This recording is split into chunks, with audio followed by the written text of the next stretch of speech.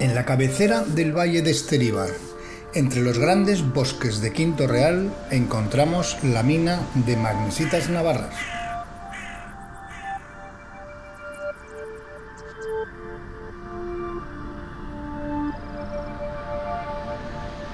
Allí se extraen los minerales que después serán procesados en la fábrica de Zubiri.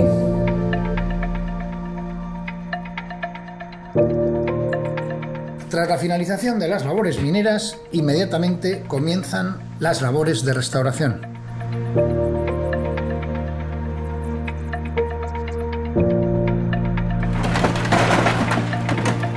A la restauración morfológica le seguirán las labores de revegetación y la realización de acciones concretas que animen a trabajar a quienes hemos dado en llamar los delegados de la naturaleza.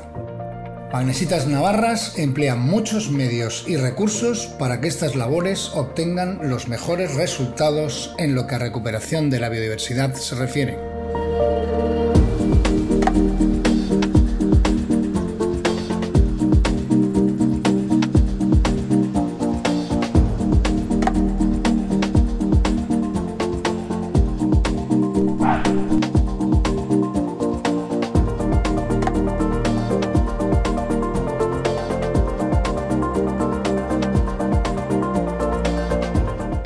Acúmulos de madera muerta, nuevas charcas, bosquetes o nidales artificiales ayudarán a acelerar esta maravillosa reconquista, el avance de la vida silvestre desde los bordes de la explotación.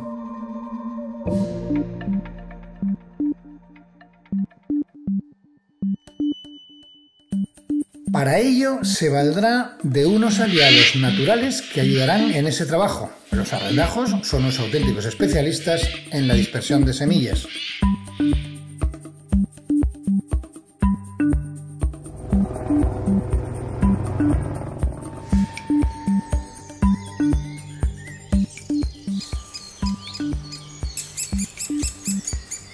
Los pájaros carpinteros tan abundantes en los montes navarros se encuentran entre los más avezados colaboradores en las tareas de revegetación.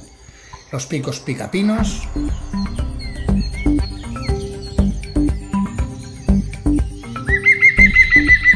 pitos reales,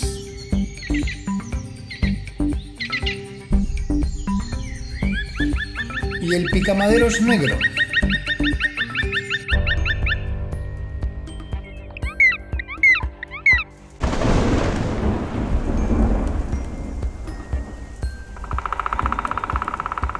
Finalmente, la estrella por autonomasia, el pico dorsiblanco, un auténtico superviviente de la última glaciación.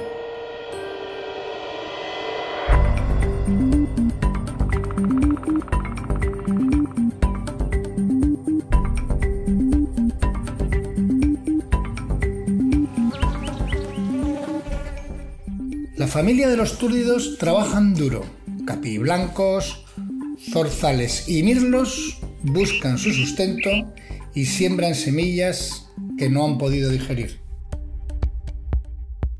Los pequeños pájaros de la familia de los pálidos hacen un trabajo más artesanal.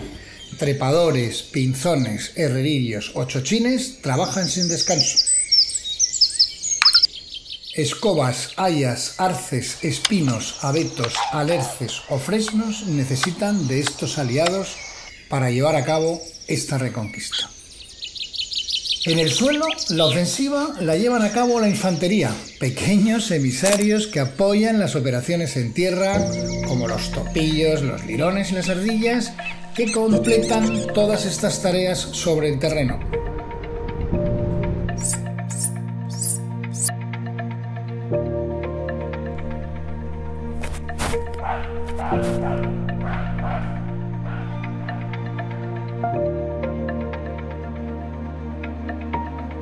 Y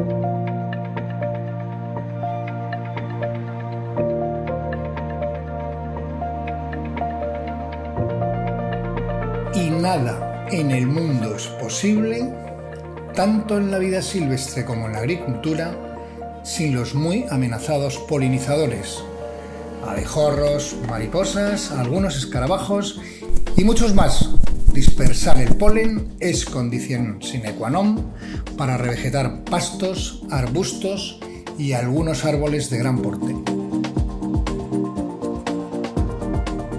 Una labor llevada a cabo de forma conjunta entre hombre y vida silvestre que culminará con la regeneración final de estos ecosistemas. La restauración tras las labores mineras es obligatoria por la legislación. Magnesitas Navarras quiere ir un poco más allá, restaurar e implementar la biodiversidad, estudiar, investigar y conservar el patrimonio natural del lugar donde obtiene sus recursos.